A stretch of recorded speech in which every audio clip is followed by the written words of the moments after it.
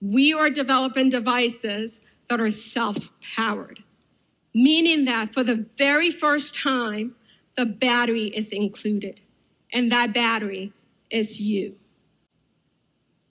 We are specifically developing a human powered glucose biosensor. From here on, I will refer to it as the human powered glucose sensor. This human powered glucose sensor will be able to measure blood sugar levels continuously, unlike the manual finger prick test, and be completely invisible to the user. Since glucose is abundant in our blood and we have access to the stored chemical energy, we are tapping into this as a fuel source.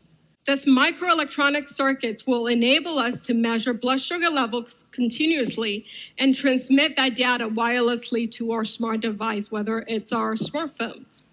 Developing this human powered glucose sensor is a team effort. There are two parts to the technology. We have the sensor chemistry and material, which involves chemists and chemical engineers.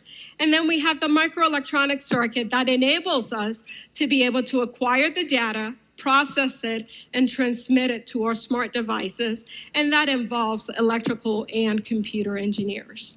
If we think about it on the grand spectrum, in the future, not only will we be able to, um, to power devices inside of our body, but also outside of our body because the human body has an infinite source of power.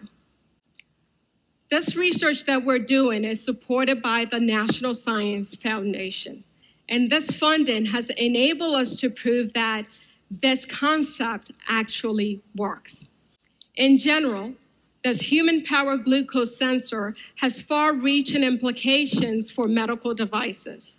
Think about how much freedom we are giving them. And to give them that freedom, that is what we are driven to do at the Bioelectronics Laboratory at UMBC.